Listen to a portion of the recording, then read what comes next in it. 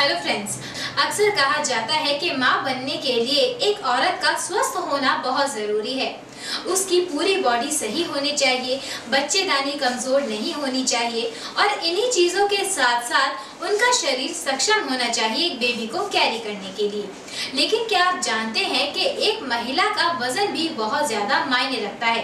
यदि आपका वज़न बहुत ज़्यादा है और आप ओवरवेट हैं तो आप बच्चा कैरी नहीं कर सकती हैं। कई लोगों का सवाल होता है कि ऐसा क्यों होता है? आइए जानते हैं मेरी आज की वीडियो के थ्रू दोस्तों, क्या आप जानते हैं कि जो लेडीज़ बहुत ज़्यादा ओवरवेटेड होती हैं?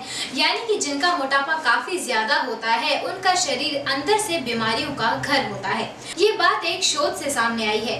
कहा जाता है कि मोटापा बीमारियों का घर होता है। जिस इंसान को मोटापा बहुत ज़्यादा सताता है, उसके शरीर के अंदर ब्लड प्रेशर कोलेस्ट्रॉल बीपी सारी चीज़ों की प्रॉब्लम होती है। और इसी वजह से इसका प्रभाव बच्चेदानी पर भी पड़ता है। यदि आप महिला हैं और आप बेबी कैरी करना चाहती हैं तो आपको वज़न संतुलित करने की बहुत ज़रूरत है। यदि आप बेबी कैरी चाहते हैं तो ज़रूरत नहीं है कि आपको बिल्कुल ज़ीरो साइज़ फिगर बनाना है, क्योंकि ऐसा करने से भी आपको काफ़ी परेशानी का सामना करना पड़ सकता है। यदि आप बेबी कैरी करना चाहती हैं तो आपका वज़न आपकी हाइट के अकॉर्डिंग बिल्कुल सेट होना चाहिए। एक आधा किलो ऊपर नीचे चलता है, लेकिन 10-15 किलो ऊपर नीचे नहीं चल सकता है, क्योंकि ऐसा होने से आपके बच्चे पर काफ़ी ज़्यादा प्रभाव पड़ता है। हो सकता है कि यदि आपका वज़न थोड़ा ज़्यादा हो और आप बेबी कैरी कर भी लें तो उसकी वजह से आपको डिलीवरी में काफ़ी ज़्यादा प्रॉब्लम्स का सामना करना पड़ सकता है। इसीलिए वज़न को संतुलित करना बहुत ज़रूरी है।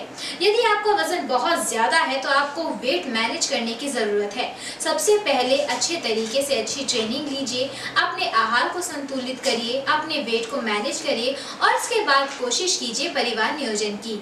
सो so फ्रेंड्स ये है कुछ ऐसी बातें जिनके बारे में जानना आपके लिए बहुत ज़रूरी था और इन पर ध्यान देना तो और भी ज़्यादा ज़रूरी है।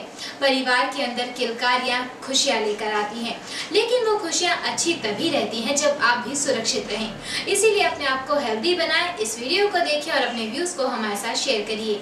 मेरी ब्यूटी और हेल्थ से रिलेटेड वीडियोज़ को देखने के लिए यूट्यूब पर लाइक शेयर और सब्सक्राइब कीजिए।